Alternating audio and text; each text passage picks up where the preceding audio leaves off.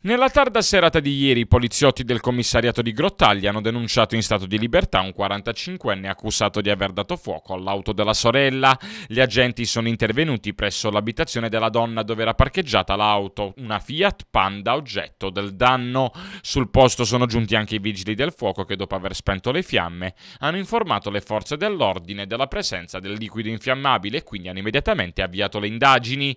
Grazie anche alla visione delle immagini di un sistema di videosorveglianza sorveglianza presente nella zona, i poliziotti hanno individuato il responsabile dell'insano gesto nel fratello della vittima con il quale nei giorni appena trascorsi aveva avuto dei dissidi per motivi strettamente familiari. L'autore dell'incendio, un grottagliese di 45 anni, è stato rintracciato ed accompagnato negli uffici del commissariato, dove dopo aver visionato le immagini ha ammesso le sue responsabilità. Dopo le formalità di rito, il 45enne è stato denunciato in stato di libertà.